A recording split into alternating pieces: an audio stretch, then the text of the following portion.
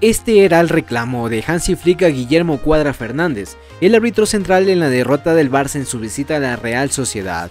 Fue un partido bastante complicado para el equipo culé, quien además le anularon un gol de Lewandowski por un polémico fuera de juego.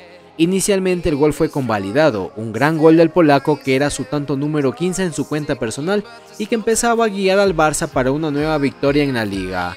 Sin embargo, cuando ya se terminaron los festejos, el árbitro hacía la señal del bar que se estaba revisando la jugada del gol. Segundos más tarde, el juez del partido anulaba el tanto por decisión del bar por fuera de juego. La polémica vino con las imágenes del fuera de juego. Las cámaras de televisión no evidenciaban offside del polaco por ningún ángulo. Se puede acercar mucho la imagen y hasta se pixela, pero es bastante complicado distinguir. Ahora esta es la imagen de la recreación 3D que también deja dudas. Finalmente el gol fue anulado y al minuto 33 la Real Sociedad se ponía en ventaja.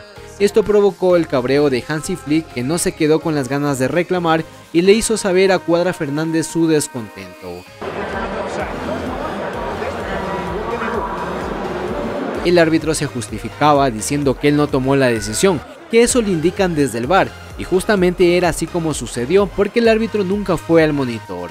Además, el árbitro se justificó preguntando a Flick que por qué ellos inventarían un fuera de juego. Finalmente el Barcelona de Flick sin Lamin Yamal, que sigue con molestias en el tobillo, ha caído por segunda vez en la liga y se queda por ahora con 33 puntos, a 6 del Real Madrid en la tabla, pero si gana su diferido contra el Valencia puede ponerse a 3 puntos del Barça.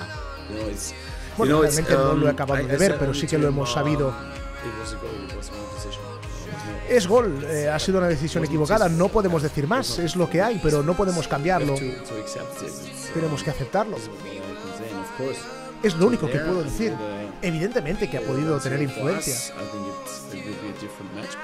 Hubiera sido seguramente un partido distinto, pero ya a estas alturas ya no podemos hacer nada para cambiarlo, es difícil, lo sabemos.